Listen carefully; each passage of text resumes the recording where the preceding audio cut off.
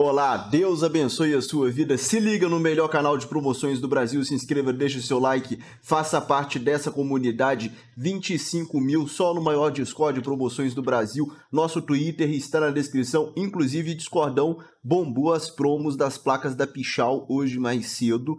Eu fui almoçar com meu pai, estava no trânsito, tinha programado o vídeo, mas do Discord estava lá para você. Fique esperto, meu parceiro, beleza? Estamos aqui na Terra e agora sim, cara, um vídeo aí cheio de coisa boa. É só promo top, esse exclusivão da Terra, o bicho pegando 40 minutos para você comprar ao menos. Publiquei no Discord, publiquei no, no Twitter. Ryzen 5 5600G, Ryzen 5 5600G por 1799 para você. Cara, testei Vídeo amanhã, vídeo, vídeo de teste do 5600G. Ó, o gráfico integrado evoluiu pouco. Agora o CPU tá legal. O CPU tá mais ou menos o que seria um pouquinho melhor do que um 3600. Depois eu vou fazer comparativo de poder dele versus 3600. Não é um poder de um 5600X. Considerando o preço que as APUs estão absurdos, você acha 3200G por mil reais no AliExpress, você acha 46,50 só o chip por mais de R$ 1.400 no AliExpress, 1.800 com cooler box, nota fiscal e garantia no Brasil não tá ruim. Dá para pensar com carinho, sim, arquitetura mais moderna e Resident Evil rodou bem demais no gráfico integrado, principalmente o Village. O meu teste sai amanhã, fica ligado. E o cooler box é muito bem dimensionado para ele, ele roda frio no cooler box, então tá show, cara, tá show. Dá para encarar, tá aí para você. Tem também o Ryzen 7 5700G, que eu estou com ele aqui agora na máquina para testar para você. Deve sair o teste do bichão no meio da semana mais ou menos, tá? 2459. Todo octa-core no Brasil é salgado e esse tem um gráfico integrado. O poder dele é mais ou menos o que seria um 3700X com relação a CPU, tá? Então tá aí para você por 2,459.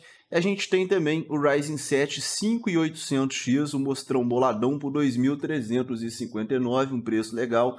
Você tem também Intel décima geração, famoso i3-10100F, 599 para você, preço legal. O preço mais barato que a gente já viu ele foi 500 e poucos reais. 599 dá para encarar, dá para pensar no caso. Essas promoções, a maioria que eu vou mostrar, três horas só acaba. Então você tem que tomar sua decisão rápido, entendeu? É bate pronto, meu filho. E esse processador aqui, eu tenho ele aqui na minha empresa, ele é bom, cara. Um 4/8 moderno e tal, encara qualquer placa de vídeo, até uma 3070, porque eu tenho. Eu posso te falar que ele leva 3070. O próprio Diego Keber da Adrenaline já testou também esse processador até a 3080. Então, encara, é um, um, um produto no Brasil também com preço interessante, 599 tá aí para você.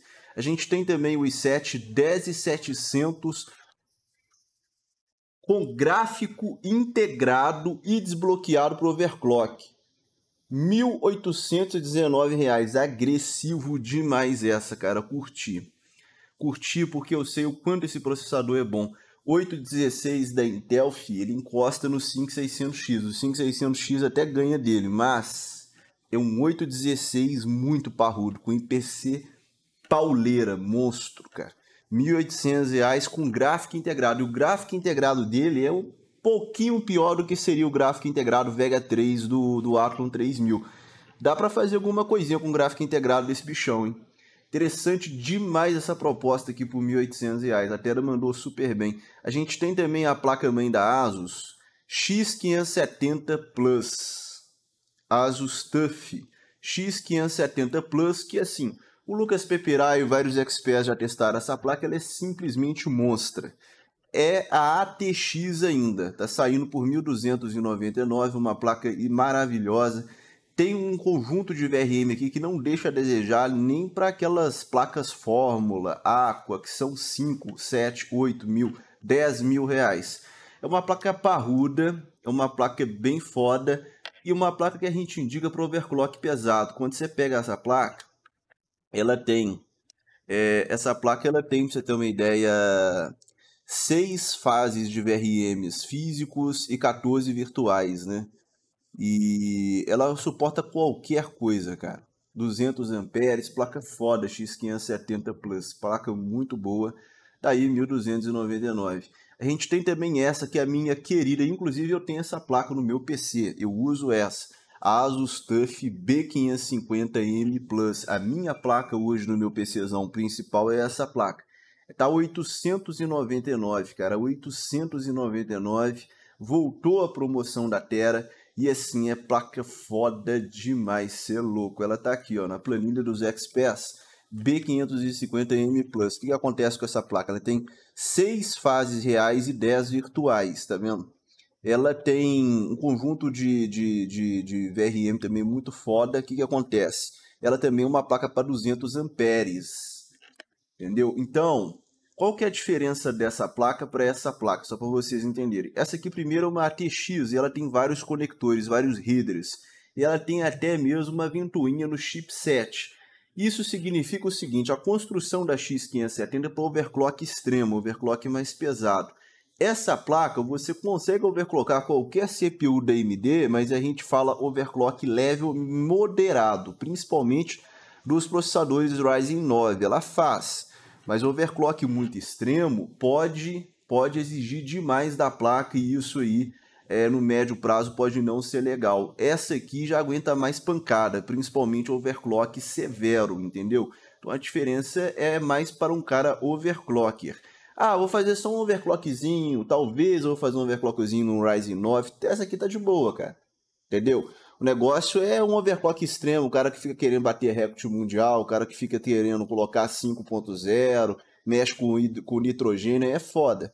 Agora, essa placa aí, ela aguenta muita coisa, né? E ela, ela tem quase a estrutura da X570, né? Essa aqui tem 14 fases virtuais, essa aqui tem 10. E não deixa a desejar, entendeu? Ela tem quase uma estrutura de uma X570 num preço bem mais em conta, 400 reais a menos, então 899, uma placa bem interessante, principalmente por esse preço, tá? E a gente tem aqui também a B450 Aurus M, que eu tenho, inclusive eu testei o 5600G nessa placa. E vou testar agora que já está na placa o 5700G. Entendeu? Eu estou testando na Aurus M. Eu tenho essa placa, tá 599 com excelente preço. Essa placa aí, vira e mexe a gente vê ela por 700 reais à vista. Então tá 599. Aí quando você me pergunta se essa placa é boa, cara, essa placa é muito boa. E tudo também depende da sua proposta. Ó, tem sete fases o VRM dela, sete fases físicas, né? Ela é uma placa de 75 amperes. Aí o cara fala assim, porra, mas 75 amperes, você tá falando dessa placa é boa? É, é boa dentro da proposta dela. 75 amperes, é... você faz overclock em qualquer Ryzen 3 e overclock em qualquer Ryzen 5 e roda em estoque alguns Ryzen 7. Então ela é boa dentro da proposta dela. Então, o que, que acontece? Olha o preço dela, 599. Olha o preço de uma B550, 899. Olha o preço da X570, 1.300 reais. Cada, todas essas placas compensam, porque todas têm uma finalidade. Essa placa, você vai utilizar o 5600X e pode overclockar ele. O 5800, não. Não indico colocar nela um 5800X. 5800, não. 5600X aguenta e aguenta até overclock. No máximo de Ryzen 7, eu recomendo um 3800X em estoque, entendeu? Um 3700, o 5700G roda, entendeu? Então você vira para mim, não, cara, eu vou ficar só no 5600X mesmo, quero uma placa boa, um bom custo-benefício, um excelente custo-benefício, que é 19,99, vai tancar aí, pancando aí o 5600X, pode fazer overclock dele também, as novas APUs também é uma boa proposta, uma construçãozinha intermediária caprichada da Urus, uma placa de entrada da Urus, mas uma placa boa, né? Agora, essa placa aqui, se você virar para mim e falar assim, não, eu quero pôr um 5800X, eu quero overclockar ele. Ah, não, futuramente, cara, eu vou comprar um 5600X, mas futuramente aí, se bobear, eu pego um 5900. Essa placa é melhor, só que é 300 reais a mais. Você vai ter que avaliar realmente o seu perfil. Se você falar assim, não, o negócio meu, cara, eu quero poupar o para mesmo, eu vou querer fazer overclock extremo, vou querer, é, entendeu, fritar o 5950X, essa placa é mais indicada principalmente para overclocker. Então, cada placa dessa, ela tem uma função, uma finalidade, todas são boas dentro da sua proposta, beleza? Bom, a gente tem aqui a A520 Asus Prime, tá? Por 499, gostei do preço. A BIOS da Asus é muito boa, é uma BIOS realmente fácil de lidar, dócil. Dá para fazer até atualização via o próprio Windows, né? E você, quando a gente avalia esse modelo, que essa é, é a A520E, tá? Prime, que é a A520 modelo E. São variações da placa, né? Quando a gente observa essa placa, são seis fases, são seis fases. É, os MOSFETs delas são iguais, não tem diferença dos MOSFETs, né? Eu estou observando ali que os MOSFETs são iguais, então a estrutura é igual. Não tem diferença das variações, tá vendo? E essa placa, ela também é 75 amperes, né? Ou seja, teoricamente, ela até poderia fazer overclock, só que a 520 é bloqueada para overclock, é placa para você rodar só em estoque, né? Então, ou seja, ela, ela atende bem o 5600X em estoque ou até um 3800X em estoque, é isso que você vai rodar nessa placa. Então, ela basicamente vai te dar suporte estoque para os 5600G, 5700G, que são as APUs, né? E os outros também. 4300, 4350, 4650, 4750 essas APUs 4000 e 5000 ela dá suporte, vai dar suporte para o 5600X. E da geração passada você pode colocar o 3600, o 3700 e o 3800X. É o que essa placa suporta tudo em estoque. Dá para fazer overclock só na memória RAM. Memória RAM você consegue até fazer um overzinho na memória RAM nessa placa, tá? Tá aí pro 499. Então qual é a proposta dela? Economizar. Ah, eu quero comprar esse produto aqui, o 5600G na promoção eu quero comprar uma placa mais barata porque eu estou apertado. Então é, é, mais ou menos a proposta da A520. A gente tem também aqui a A320, A320 Asus Prime, que é a placa da primeira geração DMD. Essa placa não tem suporte a esses novos processadores não. Ela é uma placa também para operar em estoque, ela não faz overclock, entendeu? Ela não faz overclock. Então, essa placa é para você operar em estoque. Faz over só de memória RAM. E ela é geração é, Athlon, Ryzen 1000, Ryzen 2000 e Ryzen 3000 e APUs mais antigas. Né? APUs 2200, 2400, 3200 e 3400. Tá? Ela está saindo a 399 também num preço razoável quando a gente estuda essa versão dessa placa. A, a, essa é bem parecida com a A520, tá vendo? Seis fases.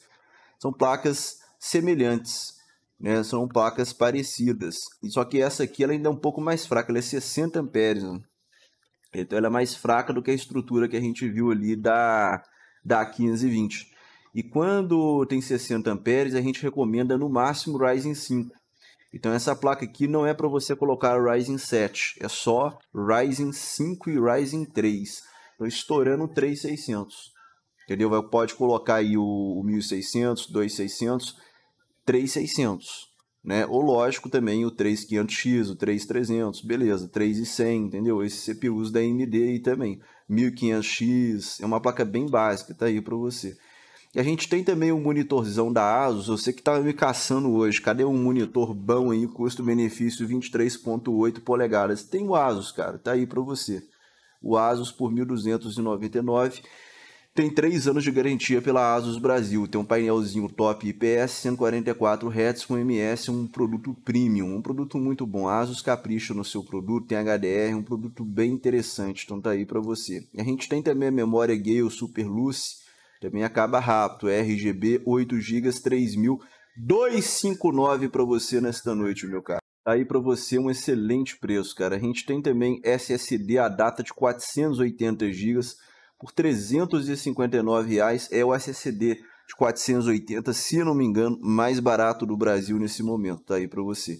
A gente tem também fonte Cooler Master MWE White. Toda MWE White da Cooler Master tem 3 anos de garantia de acordo com a Cooler Master Brasil, garantia direto na Cooler Master aqui em São Paulo, no Brasil mesmo. 650 watts, está saindo por 279, fonte top, construção intermediária, pressão, tá aí para você, top demais. E tem também, cara, a fonte Deepcool, 700 watts. Aí o pessoal falou comigo, a TecLab não certificou esse produto. Não, realmente, esse modelo não foi aprovado. Mas é, a linha dele já foi aprovada. Essa da A já foi aprovada. Tem a da A600, tem a da A500. Eu acredito que é tranquilo, cara. A fonte da Dipco uma fonte que tem uma boa qualidade, apesar que esse modelo específico eles não certificaram, mas os anteriores sim. Tá aí para você por 329. E isso é lógica mesmo, porque a linha, quando você pega da A600, da A500, os componentes são meio semelhantes, entendeu? Então é tranquilo, na minha opinião, vale a pena também. 700 watts por 329. Agora eu quero mais segurança e tal, tem a Cooler Master aí, ó, tá até mais em conta, 279 com 3 anos de garantia, tá aí para você. A gente tem também placas de vídeo, RX 550 de 2 GB por 669, basicamente o gráfico integrado Vega 8 da AMD em estoque em estoque. Então a placa é bem fraca, mas para quebrar um galho, geralmente você faz isso assim, você pega um, um CPU, tipo um, um 10100, por exemplo, né? mais essa placa, vai ficar o que? R$ 1.100, que é mais barato que comprar um gráfico integrado, é mais ou menos essa proposta quando você compra um processador interessante como o 10100 por 600 reais, mas essa plaquinha aqui vai ficar ali 1.100, 1.100 e pouco, para ficar mais barato do que o gráfico integrado. É, é a proposta desse produto. Depois você tem a própria placa para revender e para recuperar parte desse dinheiro. Esse modelo é um modelo referência da AMD, não tem problema porque esse chip RX 550 ele é bem frio. E a gente tem também é, a GTX 1660 GDDR5 da Pallet saindo por 2.699. Você tem também a 1660 Super. Essa aqui está mais atentadora por 2.899. Já tivemos 2060 nesse preço. Não sei se volta, 2060 parou de produzir, então a gente não sabe se vai ter estoque, como é que vai ser a remessa.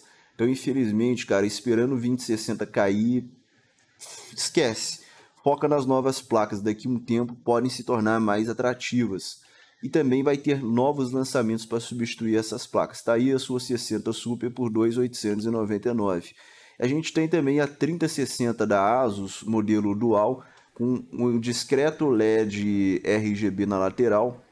Asus é Asus, Asus é top, tá aí uma 3060 por 4.199. Já expliquei que a 6600 XT é mais forte, 11% em Full HD em 1080p, né? 11%. É um pouco mais poderosa a 6600, porém com menos memória e também com menos barramento. Essa aqui é 192, uma 6600 é 128. E isso aí influencia para jogar em 1440p. 1440p a diferença da 3060 para para 6600 é pouca.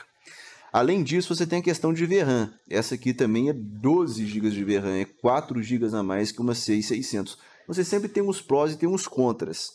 Então, a expectativa que a gente tinha de queda dessa placa pode acontecer sim, mas não espere muitas reduções não, porque ela tem pontos fortes. Por exemplo, quando você compara essa placa com a CI600, apesar dela ser um pouco mais poderosa em 1080p, ela fica próximo em 1440. E aí essa placa para fazer live é melhor. Ela tem o codec NVENC New, que é o melhor codec do mercado, ela tem o broadcast para streamer, uma coisa fundamental ela tem também o ray tracing dela, dá um, um, uma surra na CI 600. Então, ela tem outras vantagens também. Então, não vai despencar como a gente imaginava, não, tá? Essa informação que eu recebi. Agora, é aquele negócio, vai de cada um julgar se compensa ou não, o melhor momento de compra. Eu só estou te mostrando essa opção na Terabyte nessa noite por esse preço, beleza? Então tá aí por 4.199. A gente tem também essa aqui, que é a 3060 Ti, e essa é o meu xodó, cara, da Palit. E assim, Palit, dois anos de garantia direto na Terabyte, Palit é marca grande. Fabrica PCB para inúmeros fabricantes mundo afora, e inclusive entre eles a Galaxy, que é bem famosa no Brasil. Então, eles estão tentando até ampliar essa garantia para três anos, só para você entender, tá? Então, é, é uma marca boa, não é porcaria como alguns imaginam, né? Então tá aí a 3060 Ti, que é uma placa, que é uma placa que tem um poder ali de uma 2080 Super, que era a segunda placa mais poderosa no ano passado. Então uma placa bem interessante, sim. É uma placa bem poderosa e ela ganha, lógico, da 3060 e vai ganhar também da da 6600 XT. Inclusive, ela fica ali atrás da, da 6700 da AMD e da 3070. É uma placa interessante, cara, ó, 4899. é um modelo para você também avaliar se compensa. O barramento dela é 256 bits, então quando você compara uma 6600, ela dá um couro, uma costa na 6600 XT, até por conta do barramento. Dela é bem melhor, né? O dobro de, de vazão, de barramento. Então isso tem muita diferença. A gente mostra a decisão é sua, Deus abençoe a sua vida, tamo junto e até a próxima.